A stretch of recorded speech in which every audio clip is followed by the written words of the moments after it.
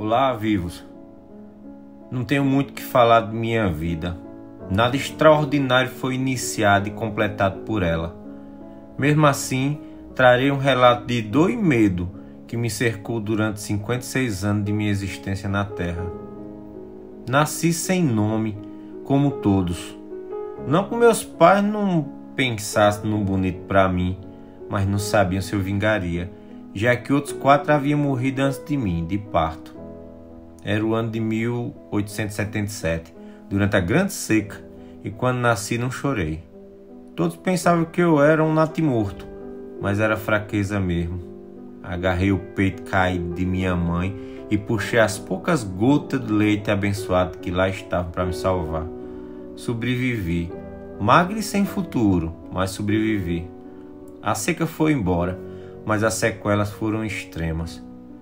Meus pais morreram em 1915, na outra grande catástrofe natural e social.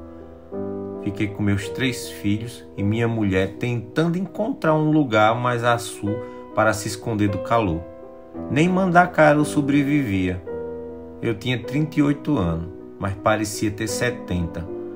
Meus filhos morreram o olhar deles pedindo comida e eu tendo que amolecer cordial percata com um pouco de água para poder alimentá-los me doía a alma.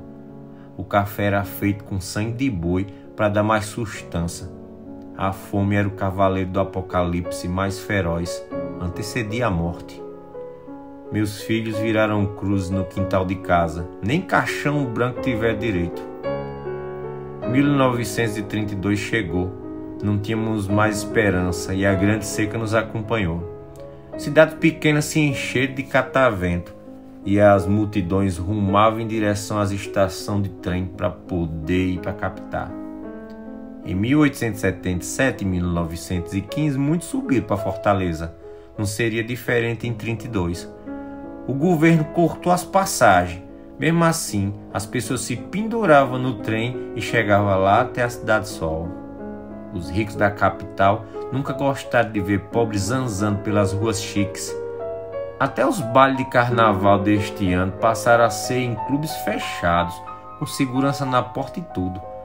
A higienização local era necessária aos olhos dos ricos, que apenas enxergavam doença nos pobres como eu. Sete campos de concentração para os refugiados da seca foram construídos às margens da linha férrea ou quase a maioria, dois na capital e cinco no interior.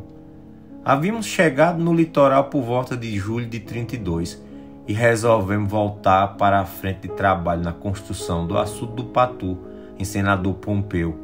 E lá nos deparamos com um amontoado de pessoas magras e doentes, tendo o um mínimo para beber e comer.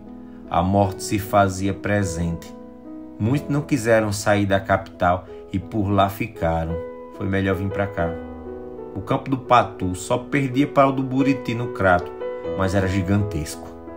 Gente de todo o Nordeste chegava pedindo um casebre de palha para se esconder e em troca disso oferecia mão de obra barata. Os jornais travavam a guerra, todos consternados com o fim do mundo que era seca e fome. A dor generalizada comovia até os opositores políticos.